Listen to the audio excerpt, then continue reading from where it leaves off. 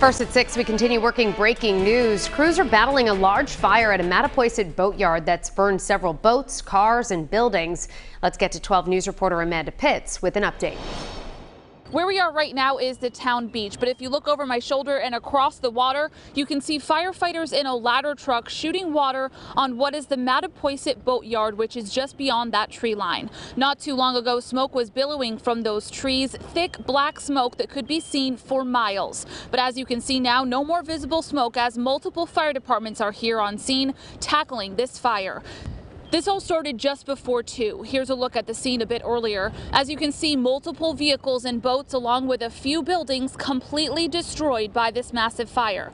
This is at the Mattapoisett Boatyard on Ned's Point on Mattapoisett Harbor. According to its website, the boatyard is a family-run business dating back to the 1960s. It offers service and repairs to vessels, and locals tell me boats go there to gas up, so we're talking about a lot of fuel in that boatyard. Combine that with the wind here on shore and that fire, spread quickly. Here's how residents described the scene this afternoon. We were taking our new puppy out and we saw a huge film of um, black smoke, really, really dark smoke.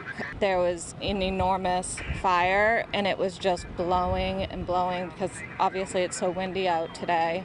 Now, we are hearing from residents who live in the surrounding neighborhoods around the boatyard. They say firefighters are dousing their homes with water to prevent them from catching fire. Again, it's very windy here on shore and we are in a drought, so firefighters are taking all the precautions they can. Right now, we're unsure if anyone was injured in this boat fire. We are waiting to hear from officials who are obviously very busy right now. When we learn any more information, we'll bring it to you on air and online. For now, in Mattapoisett, Amanda Pitts, 12 News.